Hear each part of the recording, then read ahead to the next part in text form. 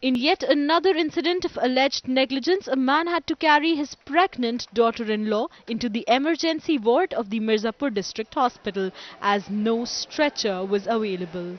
The woman, however, died after giving birth to a stillborn baby. हम जो है कि यहाँ से पहले तो एम्बुलेंस से गए बरकच्छा के लिए तो बरकच्छा से फिर रेफर किए मिर्ज़ापुर के लिए।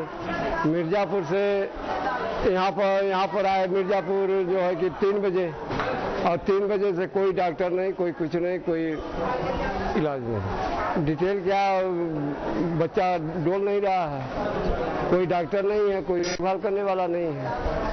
The hospital administration, however, rubbished the allegation and claimed that proper care was provided to the pregnant lady.